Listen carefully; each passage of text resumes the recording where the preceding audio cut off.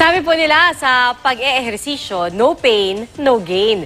Pero ang workout, eh, mas nagiging effective daw kung na-e-enjoy ito. Tulad ng indoor cycling na aking sinubukan.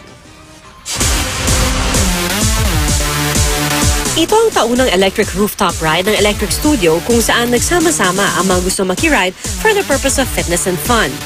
Gears ready, bikes are ready, at ang mga kapuso nating biker ready-ready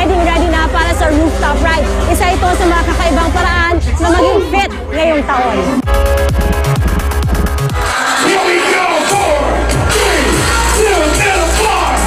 Bukod sa iba't ibang pace ng cycling na makaka-build up ng stamina,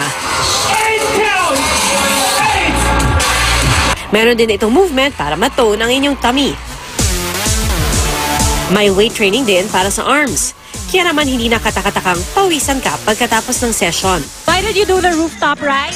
so much fun. It's, it's a great 45 minute cardio workout. So it really um, tests your endurance and strength, as well as it's a full body workout. I really wanted to create a workout that really doesn't feel like a workout. As you can see, it's a community, it's a family. We're all here to have fun. It's not just a workout.